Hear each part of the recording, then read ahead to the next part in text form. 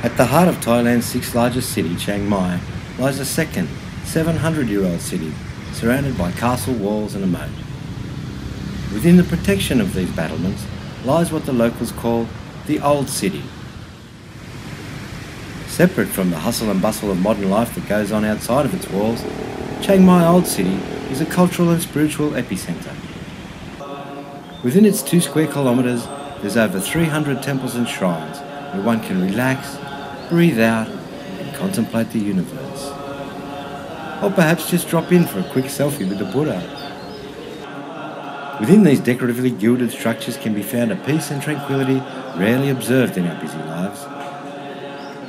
A chance to meditate upon our existence, to ask deeper questions of ourselves, perhaps come face to face with our inner demons. Chiang Mai offers many such retreats where one can free one's mind from the mundane and truly relax. Outside of these temples, the monks go about their day to day lives in much the same way everyone else does. They're set apart from society only by their bright coloured robes and lack of hair. Walking about the streets on various errands, on their way to or from school, shopping or socialising with friends, the same way you or I would. Nonetheless, their lives are spent devoted to the teachings of the Buddha and the rituals of Buddhism. Heading back to the old city, it was life as usual. The zombie apocalypse hadn't yet started, and Somphet Market was its normal busy self. Food guides were shoving tourists around, explaining to them that Thai people use fish sauce for saltiness, and the seeds are the hottest part of the chili. To the vendors, it was just another day at work. Although the old city is small and its many laneways allow you to quickly walk from place to place, these small tuk-tuks are a fun and inexpensive way to get around. Handy if it's raining too, which it quite often does for a few minutes here and there. 50 kilometres away from the castle walls, about an hour in a van which picks you up from your accommodation, is Flight of the Gibbon. Here, Nestled in the rainforest surrounding Chiang Mai, Flight of the Gibbon offers an exhilarating experience, flying through the trees like a monkey. You start with baby steps at first, but quite soon the fun and excitement really begin. Okay, come one, two, go.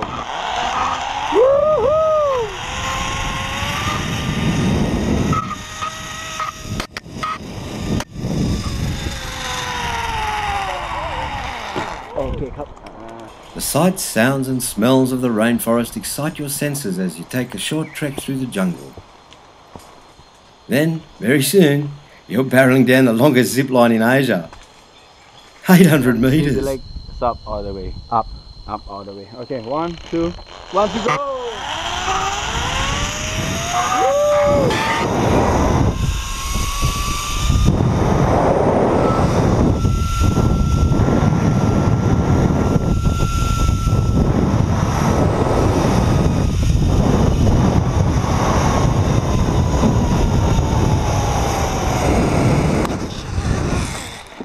Hey. All too soon, the rainforest no longer echoes with our monkey calls, and I find myself wishing I could go back to the very first zip line and do it all over again. But it was time to return to the old city. The crowded and busy Sunday night market at Tha Phae Gate is a stark contrast to the rainforest canopy.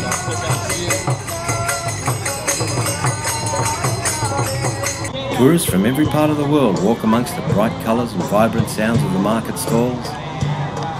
The music provided by local buskers adds even more to the atmosphere.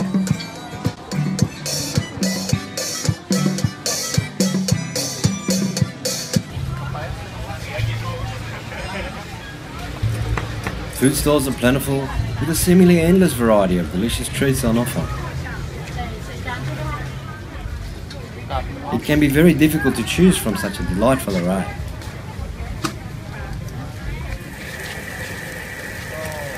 Freshly cooked and refreshingly cheap is something for almost everyone's tastes.